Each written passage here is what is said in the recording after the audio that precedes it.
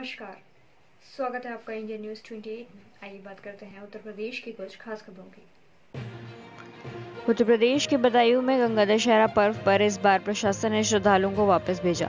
Police के कड़े पहरे के बावजूद बदायूं में श्रद्धालुओं ने बदायूं के ग्रामीण इलाके के गंगा नदी के तट पर हज़ारों श्रद्धालुओं ने लगाई डुबकी। मामला जिला बदायूं के तहसील सहसवान क्षेत्र के थाना जरीफ नगर स्थित मालपुर ततेरा गाँव घाट पर पुलिस ने छुपकर गंगा में डुबकी लगाई। इधर उधर पहुंचकर श्रद्धा और शक्ति से हर हर गंगे, हर हर महादेव जय घोष के साथ गंगा स्नान किया। मनोकामना पूरी होने पर प्रसाद चढ़ाया। सभी के उत्तम स्वास्थ्य की मनोकामना की। वहीं गंगा घाट पर मुंडन संस्कार भी किए गए। हालाँकि कोरोना महामारी को दृष्टिगत रखते हुए शासन श्रद्धालुओं को कचला स्थित भागीरथी गंगा तट पर स्नान नहीं करने दिया। बताइए संवाददाता डॉक्टर प्रमोद कुमार की रिपोर्ट।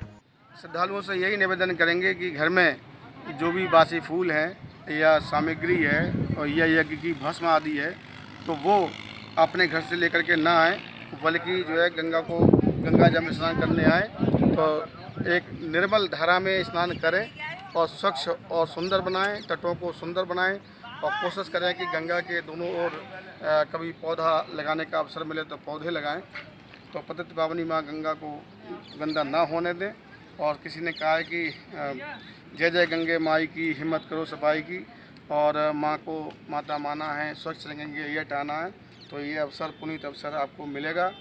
तो आप जो गंगा में जब स्नान करने आएँ तो कोशिश करें कि गंगा को गंदा ना होने दें। मैं इतना ही कहना चाहूँगा कि हमेशा गंगा को स्वच्छ बनाएँ और गंगा के बेटे बन करके रहें।